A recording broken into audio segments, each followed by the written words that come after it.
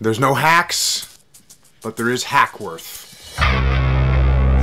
Here's some advice coming through Hackworth via Captain Jack Michaely, who was a World War II leader in mechanized cav.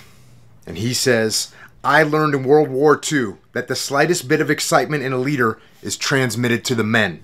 You might be afraid, but the fear gets magnified in the troops. Somebody has to keep his cool. If you're a decent leader, you don't dare lose it. For your own good. You've got to keep your unit up there doing its job.